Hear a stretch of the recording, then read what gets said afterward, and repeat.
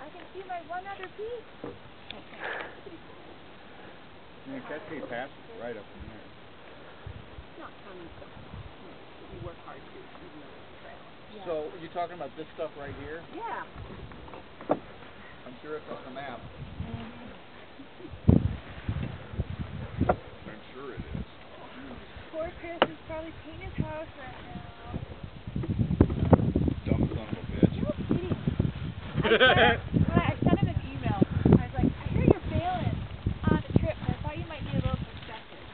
So I, Chris Hoffman. Oh. So I, on the, the first picture, is a beautiful picture of snow. And then I said, fun Snowking. And then on the bottom is a picture of this horrible, like, house where people are painting it, and it just looks like hell. I'm like, painting your house.